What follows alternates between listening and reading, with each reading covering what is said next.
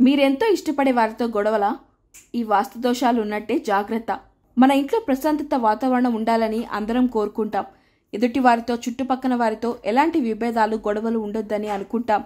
కానీ కొన్నిసార్లు మన చుట్టుపక్కలనో లేక మన ఇంట్లోనో రకరకాల ఇబ్బందులు తలెత్తుతుంటాయి.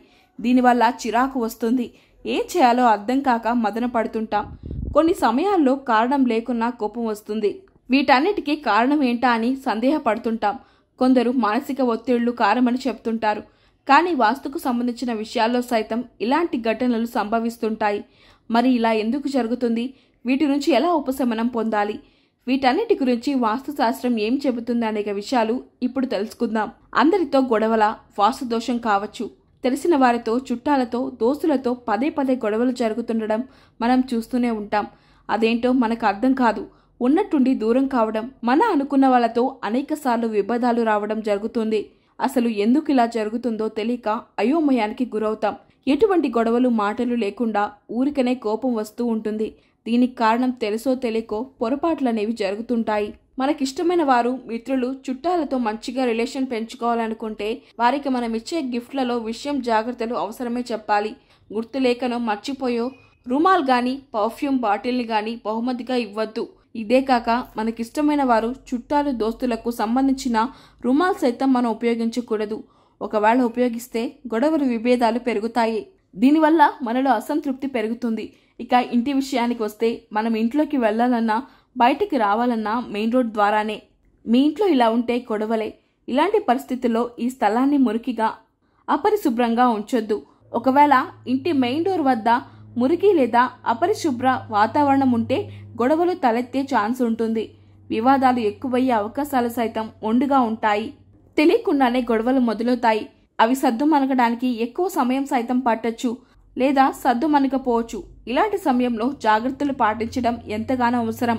ఎప్పటికప్పుడు మెయిన్ డోర్ వద్ద ఉన్న మురికిని అపరిశుభ్ర వాతావరణాన్ని తొలగిస్తూనే ఉండాలి. మురికి ఉండకుండా ఎప్పటికప్పుడు జాగ్రత్తలు పాటించాలి. ఇంటి పైకప్పు మీద గ్యాసు లేదా జంకు వస్తువులను ఉంచితే దీనివల్ల వ్యక్తిగతమైన రిలేషన్స్ ప్రభావం పడుతుంది. దీనివల్ల ఫ్యామిలీలో ఉన్న గొడవలు విభేదాలు దూరమవుతాయి. చుట్టాలు దోస్తులకు సంబంధించిన రిలేషన్లో సైతం గొడవలకు విభేదాల వల్ల కలిగే అశాంతికి ఉపశమనం దొరుకుతుంది. మిత్రులతో ఉన్న గొడవలు సద్దుమణుగుతాయి ఈ సమస్యలు ఉంటే వాస్తు దోషమే. కొన్ని సమయంలో ఎలాంటి దోషం కనిపించకపోయినా ఇల్లు మారాక కారణం లేకుండానే గొడవలు అనారోగ్యం చికాకులు ప్రవర్తన మారడం లాంటి జరుగుతుంటాయి. జాతకం ప్రకారం ఎటువంటి దోషాలు లేనటువంటి టైంలోనూ ఇలాంటి జరుగుతుంటే ఆ ఇంటి వాస్తులో దోషం ఉన్నట్టు గ్రహించక తప్పదు. సూసైడ్ చేసుకునే ప్రయత్నం ఫ్యామిలీ గొడవలు రోగాలు రావడం తదితర విషయాలు గమనిస్తే ఇంట్లో దోషం ఉందని గ్రహించాలి.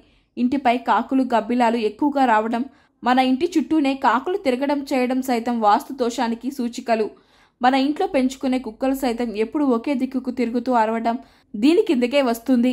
వారసత్వ ఇళ్ళలో వాస్తు దోషాల తరతరాల నుంచి వచ్చిన ఇండ్లను చికాకు కారణాల వల్ల వదిలి వెళ్ళలేము.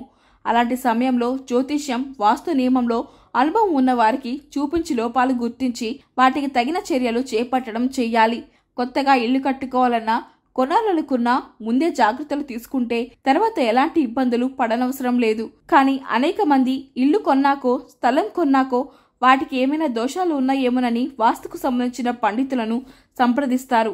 ఇది కరెక్ట్ కాదు. ఇల్లు కొనుక్కునే ముందు చెక్ చేసుకోండి.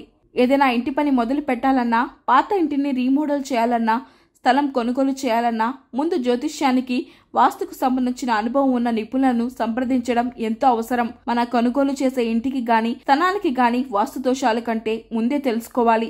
ఎందుకంటే కొనుగోలు చేసిన తర్వాత దోషాలు ఉన్నట్టు తెలిస్తే ఇబ్బందులు పడక తప్పదు.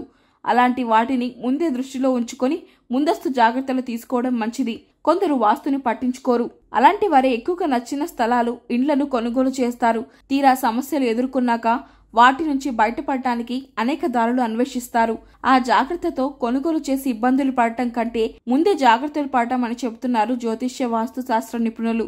మీరు సైతం ఇలాంటి నియమాలను దృష్టిలో ఉంచుకొని ముందస్తుగా జాగ్రత్తలు తీసుకుంటే తర్వాత జీవితం ప్రశాంతంగా కొనసాగుతుందని సూచిస్తున్నారు.